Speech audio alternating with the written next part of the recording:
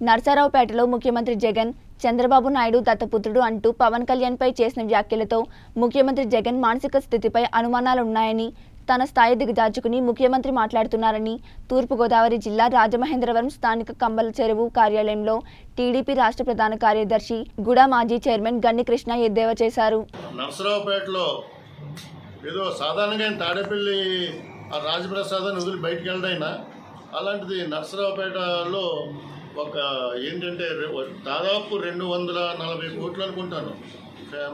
Correct రెండు వందల ముప్పై మూడు. కోట్ల ఖర్చు పెట్టి ఇటువంటి ఈ బర్నింగ్ ప్రాబ్లమ్స్ ఈ ఆర్థికంగా రాష్ట్రం నాశనం అయిపోతున్న టైంలో విద్యుత్ విద్యుత్తును కొనలేకపోతున్న టైంలో ఇటువంటి టైంలో రెండు వందల ముప్పై మూడు కోట్లు ఖర్చు పెట్టి వాలంటీర్స్కి సన్మానాలు చేశాడు. సేవా పథకాలు అమలు చేశారు ఆ సేవా పథకాలకి ఇచ్చిన ట్యాగ్ కూడా వైసీపీ రంగులోనే ఉంది. అది వేరే సంగతి. సరే అది మనకు అనవసరం. ఆయన అక్కడ మాట్లాడుతూ చాలా ఒక ముఖ్యమంత్రి స్థాయిలో మాట్లాడవలసిన మాటలు కాకుండా ఆయన చాలా దారుణంగా మాట్లాడాడు. చంద్రబాబు నాయుడు గారి గురించి డైరెక్ట్గాను పవన్ కళ్యాణ్ గురించి ఇండైరెక్ట్గాను అని చెప్పేది ఏంటంటే నా పాలన చూసి అసూయపడి చచ్చిపోతున్నారు వీళ్ళందరూ అసూయకి మందు లేదు. నాకు ప్రజల్లో పెరిగిపోతున్న ఆదరణ చూసి నేను నేను అమలు పరుస్తున్న సంక్షేమ పథకాలను చూసి వీళ్ళందరూ కూడా అసూయపడిపోతున్నారు. అసూయకి మందు లేదు. వీళ్ళు బీపీలు షుగర్లు వచ్చేస్తాయి. ఆఖరికి టికెట్ త్వరగా పుచ్చేసుకుంటారు ఎవరైనా ఒక ఎవరైనా చావు కోరుకుంటారండి ఎవరైనా?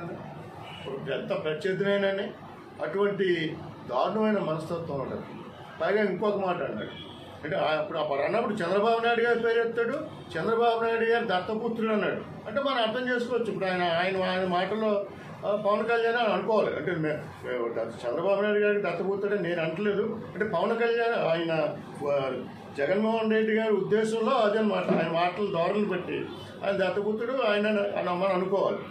సో వీళ్ళు వచ్చి మూడు సంవత్సరాలు అయింది. ఈ గవర్నమెంట్ వచ్చి. వెయ్యి రోజులు పూర్తి చేసుకున్నారు. మొన్న ఒక పది అంటే జగన్మోహన్ రెడ్డి గారిని కొన్ని ప్రశ్నలు అడగాలి మనకి. ప్రజలందరూ కూడా అడగాలని ఆతృతగా ఉంది. ఎందుకంటే మిమ్మల్ని మీరు మీరు హామీలు ఇచ్చిన ఇరవై ఇది ఇరవై నాలుగు గంటల కరెంటు ఇవన్నీ చాలా హామీలు ఇచ్చారు. నవరత్నాలు హామీలు ఇచ్చారు. అన్నీ కూడా మీరు ఫుల్ఫిల్ చేసినట్టు మీరు అనుకుంటున్నారా? నేను పొద్దున్న నేను రామారెడ్డి గారికి ట్రై చేశాను ఆయన. నాకు ఫోన్ దొరకలేదు. అసలు దీన్ని ఏ విధమైన సైకలాజికల్ ప్రాబ్లం ఏమైనా ఉందా అని చెప్పేసి. తను చెయ్యని దాన్ని చేసేనే భ్రమపడడం అనేది. తను ఏమో సైకలాజికల్ ప్రాబ్లం ఏమో అనుకుంటున్నాను నేను. అతను చాలా దారుణంగా ఇప్పుడు ఇరవై నాలుగు గంటలు కరెంట్ ఇస్తానని చెప్పి ప్రామిస్ చేస్తావు ఇచ్చేవా? తర్వాత ఐటీ కంపెనీలు తీసుకొచ్చి పారిశ్రామికంగా బ్రహ్మాండంగా డెవలప్ చేస్తున్నాం. ఎన్ని ప- కంపెనీలు వచ్చాయి ఇక్కడికి? నిన్న అంటే పొరపాటున చెప్పడమో మనకు తెలియదు కానీ జగన్మోహన్ రెడ్డి గారు విజయసాయి రెడ్డి గారు ఏదో సందర్భంలో అమెరికా నుంచి నాలుగు వందల డెబ్బై రెండు డాలర్ల విలువైన పరిశ్రమలు వస్తాయని చెప్పాడు. అంటే ఒక బహుశా వేల్లో చెప్పాల్సింది అలా చెప్పాడేమో. నేను అలా అనుకుంటున్నాను. నాలుగు వందల డెబ్బై రెండు డాలర్లు అంటే ఎంతండి? దాదాపు ముప్పై రెండు వేలండి. చేస్తున్నారో. కనీసం ఒక ప్రెస్ మీట్ కూడా ఎవరూ పెట్టలేదు. అక్కడ మీరు చూసుకొని కావచ్చు అక్కడ వైసీపీ నాయకులు. ఎందుకంటే వాళ్ళ పాలన మీద వాళ్ళకే బాధగా ఉంది. ఇప్పుడు చెప్పేది ఏంటంటే ఆయన ఇంకో మాట అన్నాడు. చంద్రబాబు నాయుడు గారు ఆంధ్రప్రదేశ్ శ్రీలంకలా మరో శ్రీలంకలా తయారవుతుందని అన్నాడు. ఎందుకంటే నేను అమలుపరుస్తున్న సంక్షేమ పథకాలు సరిగ్గా పేదలకు అందుతున్నాయి కాబట్టి పేదలకు అందేలా నేను సంక్షేమ పథకాలు అమలు చేస్తున్నాను కాబట్టి చంద్రబాబు నాయుడు శ్రీలంకలాగా అయిపోద్దా? ఎందుకు అయిపోద్ది శ్రీలంకలాగా. నా సంక్షేమ పథకాలు అమలు చూసి కుళ్ళిపోయి ఆయన మాట్లాడినాడు ఆయన అన్నాడు. ఇచ్చివాడా ఒక్కసారి చంద్రబాబు నాయుడు గారు ఏం మాట్లాడారో మీరు అర్థం చేసుకోండి. మీ మంత్రులకే బుర్రలేదనుకున్నాను మీకు బుర్రలేదు ఇప్పుడు అర్థమవుతుంది. చంద్రబాబు నాయుడు గారు ఏమన్నారు అక్కడ? రాష్ట్రంలోని ఆర్థిక పరిస్థితిని చూసి రాష్ట్రం ఆ రాష్ట్రాన్ని అప్పులు ఊపిలోకి నెట్టేయడం చూసి రాష్ట్రాలు ఒక్క పరిశ్రమ కూడా లేకుండా ఉన్న పరిశ్రమలు కూడా బయటికి వెళ్ళిపోవడాన్ని బట్టి చూసి ఈ కరెంటు కష్టాలు చూసి వ్యవసాయదారులకు పడే కష్టాలు చూసి వీటన్నింటినీ చూసిన తర్వాత ఆయన అన్నాడు శ్రీలంకలా తయారవుతుందని అన్నాడు. అంతేగాని నువ్వు సంక్షేమ పథకాలు అమలు పరుస్తున్నావు కాబట్టి పేదలకి అంటే పేదలు రెచ్చగొట్టావు అనమాట అది. మళ్ళీ అందరూ అటు పోతున్నారు. హైదరాబాదు బెంగళూరు ఇంకా ఎక్కడికో ఎక్కడికో పోతున్నారు. మనం మన బతుకు ఇలా తయారైపోయింది. ఆ తర్వాత సంపూర్ణ మద్యపాన నిషేధం అమలు చేస్తానని అన్నాం. ఈ అన్నీ ఇష్టం వచ్చినట్టు అక్కడ ఆ ఎన్నికల డయాస్ ఎక్కేసి మొత్తం జనాలను చూసి రెచ్చిపోయి చేతులు ఊపుకుంటా సంపూర్ణ మద్యపాన నిషేధం అమలు చేస్తాను అన్నావు ఏం అమలు చేసావు ఆ తర్వాత ఏమన్నా మాట మార్చి దశల వారీగా నిషేధం అమలు పరుస్తాను ఆ తర్వాత నువ్వే మద్య షాపులు తెరిచావు. వారు బార్లుగా అనుమతి కల్తీసారాలతో కల్తీసారా సారాలతో జంగారెడ్డిగూడు లాంటి మున్సిపాలిటీలో కల్తీసారా ఎక్కడ తయారవుతుందని అడిగావు ఒకసారి రాజమండ్రి రండి జగన్మోహన్ రెడ్డి గారు. ఒకసారి రాజమండ్రి వస్తే రాజమండ్రి చుట్టుపక్కల ఎన్ని కల్తీసారా ఫ్యాక్టరీలు ఉన్నాయో మీకు తెలుస్తాయి. కల్తీ కళ్ళు కల్తీసారా ఫ్యాక్టరీ ఎన్ని ఉన్నాయో రాజమండ్రి చుట్టుపక్కల తెలుస్తాయి.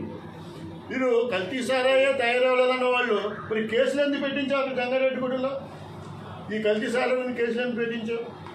కాబట్టి నువ్వు అది అరికట్టలేకపోయావు. పైగా మీ ఏదో కొత్త కొత్త బ్రాండ్లు ఇక్కడ తీసుకొచ్చి ఆ బ్రాండ్లతోటి ప్రజల ఆరోగ్యంతో ఆటలాడుకున్నాం చాలా మంది దాంట్లో చాలా రకరకాలుగా ఉన్నాయని రఘు- రఘురామరాజు గారు ఏదో చెప్తున్నారు కానీ అవి నాకు తెలీదు. ఆయన చెప్పిన మాటలు నేను చెప్పలేను కానీ రకరకాల ఏదో కలిసి ఉన్నాయి దాంట్లో అది తాగితే ఆరోగ్యం పాడైపోతుందని చెప్పి. ఓ పక్కన అమ్మఒడి డబ్బుతో అమ్మఒడి పేరుతో డబ్బులు ఇస్తున్నా నాన్న బుడ్డి పేరుతో డబ్బులు లాగేస్తున్నా. ఇప్పుడు పక్క రాష్ట్రం నుంచి స్మగుల్ అయిపోతున్నాయి మన ఆదాయం తగ్గిపోతుందని చెప్పి ఉద్దేశం చెక్ పోస్టులు తీస్తే నిన్న నేను బై రోడ్ వచ్చాను హైదరాబాద్ నుంచి. చెక్ పోస్టులు తీసేసారు ఎందుకంటే రెండు చోట్ల సమానం అయిపోయినాయని మా వాడు చెప్పాడు సమానం అయిపోయినాయి కాబట్టి చెక్ పోస్టులు తీసారు అంతకుముందు ఎంత డబ్బులు డ్యూటీ చేశారు అక్కడ?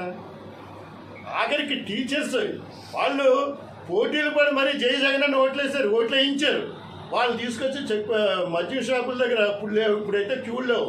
అప్పట్లో క్యూల దగ్గర వాళ్ళు క్యూలు నియంత్రించేలా పెట్టించావు అక్కడ. సో అందుకోసం నీకు నేను చూసి అసూయపడేలా చంద్రబాబు నాయుడు గారు? ఆ తర్వాత చాలా అవినీతి జరిగిపోయింది అన్నమాట. పోలవరంలో చాలా అవినీతి జరిగిపోయింది. నేను వచ్చి ఇమీడియట్గా నేను చేస్తాను ఆ నో నోటిపారుదల శాఖ నోటిపారుదల నీటి నీటిపారుదల శాఖ. అందరూ నోటిపారుదల శాఖ మంత్రి అంటాడు అప్పుడే ఆయన పెట్టి పరిస్థితికి వెళ్ళిపోయాడు ఆయన. అనిల్ కుమార్ యాదవ్ అనిల్ అనిల్ కుమార్ యాదవ్ నెల్లూరు మంత్రి.